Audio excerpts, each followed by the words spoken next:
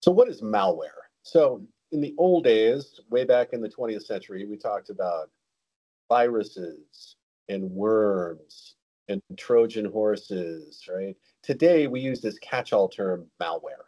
And so, malware is a little piece of unwanted software that you get on a computer.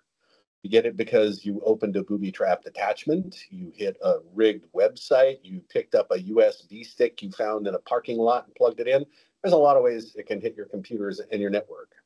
Today, it's more likely that someone has obtained access to your network by guessing a password or exploiting an unpatched piece of your technology.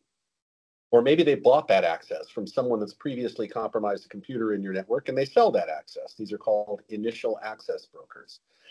Then they deploy the malware they want on your network. That malware can search for records to steal. It can log your keystrokes. It can pull all the stored passwords out of your browsers, much more.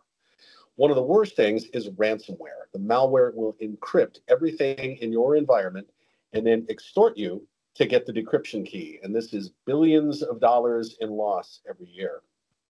So, how do you avoid malware? Don't click on every link you get in your personal email. And in fact, don't use personal email from a work computer. That USB stick, give it to IT to figure out. That's what they're for. Don't be curious.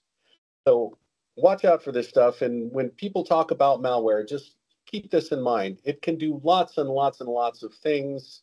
Um, some of these are worse than others. Some of these, frankly, will just wipe out your network and you'll never get it back. Those are called wipers. Okay. The catch all term we use is malware. Watch out for it.